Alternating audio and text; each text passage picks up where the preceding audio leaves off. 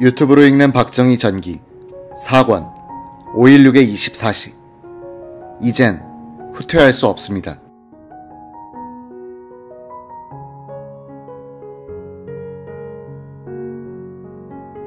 5월 16일 새벽 원주 1군 사령부 이한림 사령관의 숙소 당번병이 문을 두드렸다. 급한 전화가 걸려왔다는 것이었다. 전화기를 들었다. 육군 참모차장 장창국 중장이었다. 아니 이 꼭두 새벽에 웬일이요? 쿠데타가 일어났소. 무엇이? 군사 쿠데타 말이요. 주모자가 누구요? 박정희 소장이요. 기어코 그가 일을 저질렀군. 지금 상황은 어떻소? 새벽 3시 조금 지나서 쿠데타 부대가 육군 본부에 진입했소. 이한님은 20년 친구인 박정희가 쿠데타를 꾸미고 있다는 것을 알고 있었으나 군 상층부와 수사기관이 알아서 대처할 것이라고 생각하여 적극적인 저지 대책을 세우지 않고 있다가 자신의 운명에도 큰 영향을 끼치게 될 뉴스를 접한 것이었다. 이한림이 총구로부터의 권력에 대한 박정희의 집념과 처음 접한 것은 1946년이었다. 육사 2기생도로서 교육을 받고 있던 박정희는 육사 중대장으로 근무하고 있던 만군 동기인 이한림과 만났다. 어느 날 두 사람은 남산을 산책했다. 박정희는 경무대를 가리키면서 이렇게 말했다.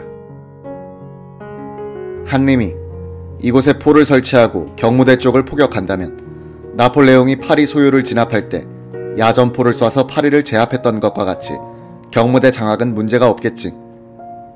이한님은 정이야 그런 농담하지 마. 너는 농담이 지나칠 때가 있어. 라고 입을 막았지만 박정희의 그 말은 뇌리에 오랫동안 남았다.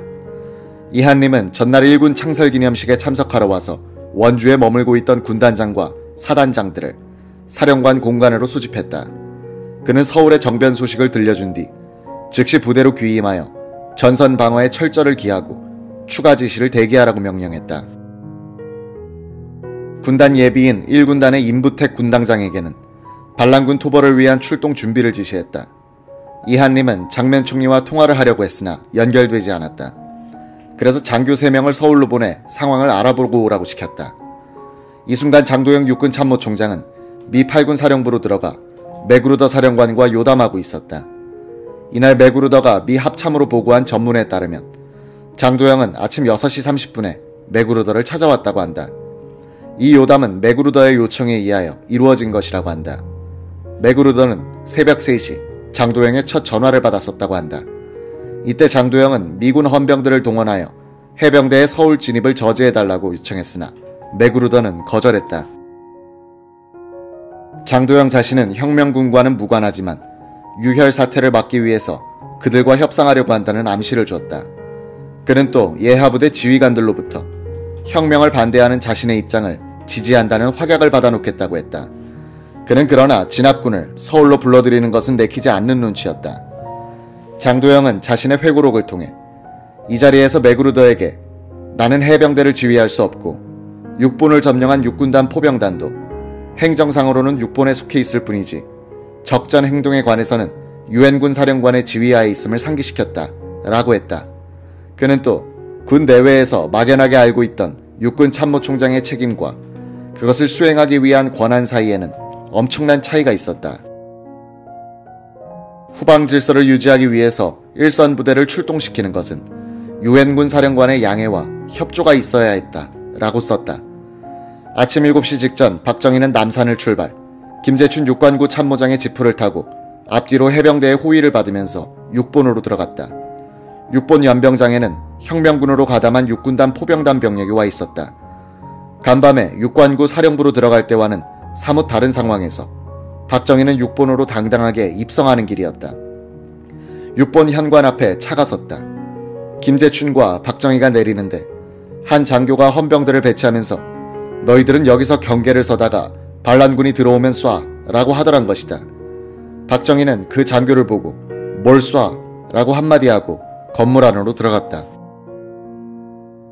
박정희는 불안했던지 뒤따르던 김윤근 해병 여단장에게 김 장군 해병대를 풀어서 이 건물을 포위하시오 라고 지시했다.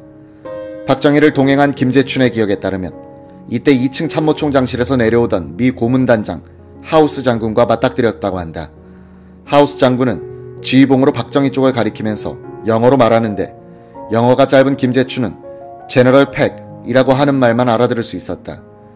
대강 짐작으로 네가 반란군 지휘자 박정희냐는 뜻인 것 같았다. 박정희는 이런 말을 했다고 한다. 우리가 살 길은 이 길 뿐이다. 너는 간섭하지 말고 비켜.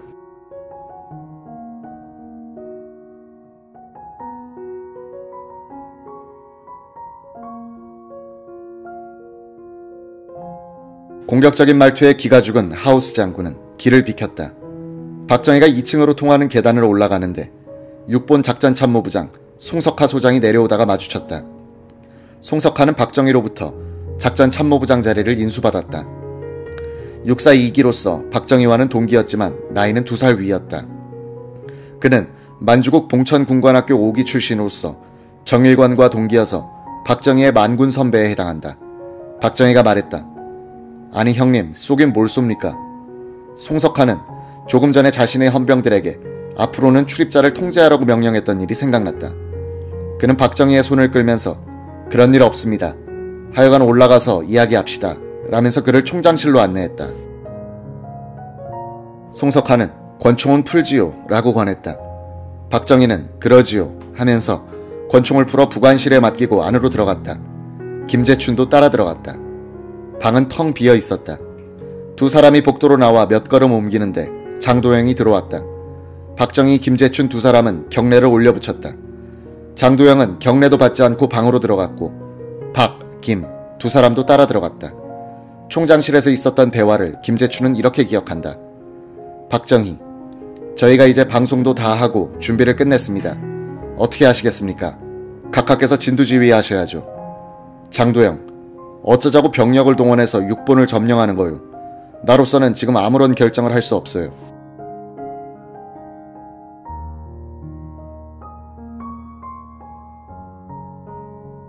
5월 16일 아침 6본 총장실에서의 대화는 계속됐다. 박정희, 저희들이 다 알아서 할 테니까 그저 인정만 하시고 저희들 하자는 대로 따라오시면 될 것 아닙니까? 장도영, 내가 어떻게 그렇게 하겠소? 박정희, 저희들은 이제 후퇴할 수 없습니다. 목숨 내놓고 한 일인데. 제가 인편으로 보낸 편지는 받으셨습니까? 육관구 참모장 김재춘 대령은 박정희 옆에 앉아서 부관실의 동향에 귀를 기울이고 있었다. 계속해서 전화기가 울리고 있었다. 1군 사령관 이한림 장군이 하는 말소리도 가늘게 들렸다. 박정희는 계속 다그치듯 장도영을 설득하고 있었다. 저희들은 모두 유서를 써놓고 집을 나왔습니다. 죽기 전에는 후퇴할 수 없습니다. 그러지 말고 민주당 정권더러 사과하라고 시키고 쿠데타군을 철수시킵시다. 장면 총리를 찾아도 보이질 않으니 나도 개통을 밟아 보고해야 할 것 아니요. 아니 혁명인데 무슨 보고가 있습니까? 각하께서 알아서 하시면 되지. 그리고 썩어 문드러진 민주당 정권에 무슨 사과를 시킵니까? 어색한 침묵이 흘렀다. 장도영은 바깥으로 나가버렸다. 그는 참모 회의실로 가서 참모들과 회의를 하는 것 같았다. 박정희도 같은 층의 상황실에서 혁명군 장교들 회의를 소집했다. 장 총장에게 지휘자가 되어줄 것을 요청했더니 강경히 반대했으나 나중에는 태도가 누그러졌고 일이 너무 중대하니 결심하는데 시간을 달라고 했소. 좀 기다려 봅시다. 이런 박정희의 말이 끝나기가 무섭게 육본에 진주한 육군단 포병단 문재준 대령이 소리쳤다. 아니 다 잡아놓고 해야지. 타협은 무슨 타협입니까? 이 말을 신호탄으로 주로 포병단 대대장들이 격한 발언들을 쏟아놓았다. 장교들의 눈엔 핏발이 서 있었고 격양돼 있었다. 박정희는 무질서해지는 분위기를 가라앉힌 뒤 그럼 장도영 총장을 모시고 와서 이야기합시다 라고 했다. 박정희는 끝까지 장도영 총장을 모시고 혁명을 해야 한다고 생각하고 자신의 뜻을 관철시키려고 했다. 다른 장교들은 대체로 기존 지휘 체계를 싹 쓸어버리고 혁명다운 혁명을 하자는 생각이었다. 장도영은 참모 회의실에 공군 참모총장 김신, 해군 참모총장 이성호 중장, 김성은 해병대 사령관을 초청하여 대책을 논의하고 있었다. 거사부대에 포위된 상황에서 회의를 하니 반대, 지지에 대한 기탄 없는 견해를 토로할 분위기가 아니었다. 회의 도중 문재준 대령이 들어와서 열변을 토하며 지지를 호소하기도 했다.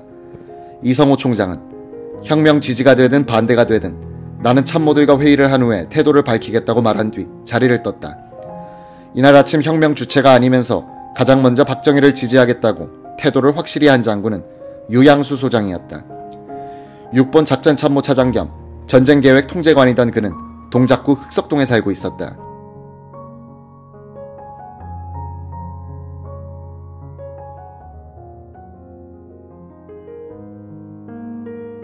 새벽에 총성을 들은 그는 6본의 본부 사령에게 전화를 걸어 빨리 차를 보내라고 했다. 30분 만에 지프가 집으로 왔다. 한강을 건너는데 이미 군인들이 바리케이트를 치고 검문을 하고 있었다. 6본에 들어가니 연병장에는 육군단 포병단 병력이 꽉 들어차 있었다. 본부 건물 현관으로 들어가다가 장경순 교육차장과 마주쳤다. 장 준장은 미리 알려드리지 못해서 죄송합니다. 라고 했다. 누구하고 하는 일이요? 박정희 장군입니다. 어디 계십니까? 지금 총장실에 계십니다. 2층 복도에는 완장을 낀 장교들이 서성대고 있었다. 총장실로 갔더니 박정희는 무거운 표정으로 앉아 있었다. 유양수와 눈이 마주치자 박정희는 일어서서 나왔다. 박 소장은 유 장군 이야기 좀 합시다 라고 했다. 미리 이야기하지 못해서 미안하오. 일이 여기까지 왔으니 도와줘야겠어요. 알았습니다. 다른 방법이 없습니다. 그대로 미십시오. 고맙소. 유양수는 혁명 지도자가 박정희라는 사실을 알고는 마음이 놓였다고 한다. 그는 자신의 사무실로 올라와 외무부에 전화를 걸었다. 유엔 담당 간부를 불러 유엔 사무총장과 우방 16개국에 보내는 사태 설명서를 작성하도록 하고 공항 폐쇄를 지시했다. 한편 5.16 성공의 1등 공신인 김윤근은 부하 장교들과 총장실 옆방에서 쉬고 있었다. 갑자기 문이 열리더니 민간인 두 사람이 들어왔다. 그들은 장교들의 얼굴을 두리번거리면서 살피더니 구면인 김윤근을 발견하고는 김 장군이 어떻게 여기 계십니까? 라고 했다. 민간인은 국방부 출입기자들이었다. 재간이 비상합니다. 아니 어떻게 여기에 들어올 수 있었소? 말씀 마십시오. 해병이 막는 걸 겨우 뚫고 들어왔습니다. 그런데 시내 해병대는 모두 김포여단 소속입니까? 그렇소. 지금 총장실엔 누가 계십니까? 박정희, 김동화 장군이 들어가 있습니다. 박 장군이라면 이군 부사령관, 김 장군은 해병 1사단장을 지내신 분 아닙니까? 맞습니다.